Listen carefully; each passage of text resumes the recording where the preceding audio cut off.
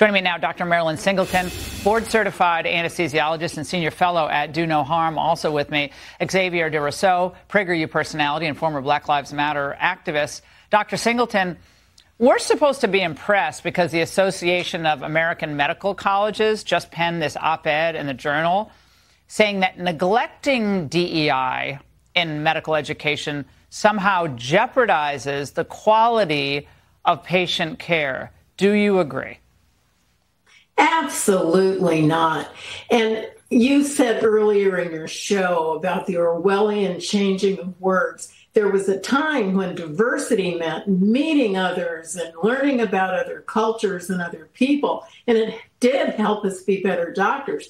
But this new DEI includes segregation, uh, many resentments among doctors, among patients, and it's eroding the trust that for years, as they call it, divergent doctors and patients have trusted each other. Divergent doctors have worked with each other, all to the benefit of the patient, and they're trying to erase that now.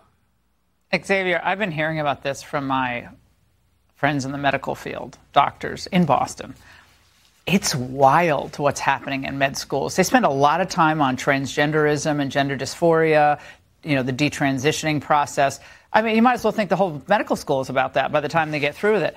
But what does this tell you about where we are in a society where life and death decisions uh, and, and merit is kind of, it's not the primary concern for some?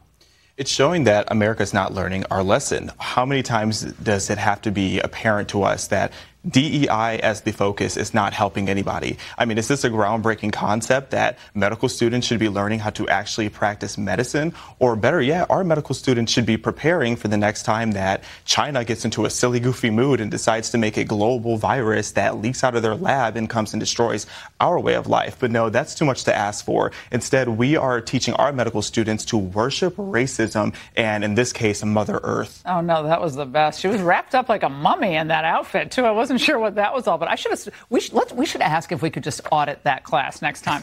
Xavier, I'm sure UCLA would be great with that. All right, the media is buying Dr. Singleton.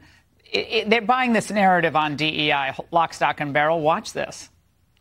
Diversity training and diversity in medical recruitment helps counter the well-documented biases that contribute to worse health outcomes for certain populations. Having doctors of different races and ethnic backgrounds and doctors who are trained to consider diversity and racial disparities is literally of life and death importance.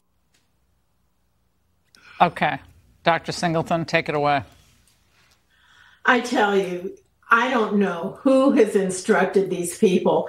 And it's bizarre to me that people who have nothing to do with medicine are somehow predicting what's going to make a good doctor. There have been good doctors for years. And yes, I'm not denying that there have been some missteps, things like the Tuskegee experiment, but you can't keep pointing to that. That's not all doctors.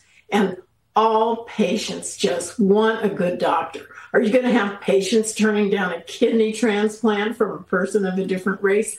I don't think so. And this is just trying to make we physicians tools of government social engineers. That's not why we became doctors. That's not why these poor students are going to medical school. They're going to medical school to learn some science. And way back when, before all this lingo and rhetoric, there was something called a social history.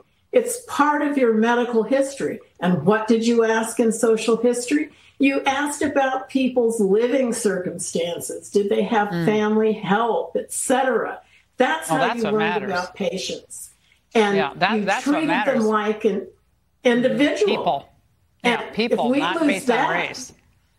Yeah, yeah, well, it's not just medical doomed. school. Yeah, Xavier, consulting giant McKinsey has been one of the biggest peddlers of the DEI nonsense. But a recent report concluded that it's actually complete garbage. McKinsey studies neither conceptually nor empirically support the argument that large U.S. public firms can expect, on average, to deliver improved financial performance if they increase their racial and ethnic diversity of their execs. Xavier, again, color coding employment, and, and whether it's in finance or medicine uh, or, or, being a pilot. Uh, we just want the best of the best.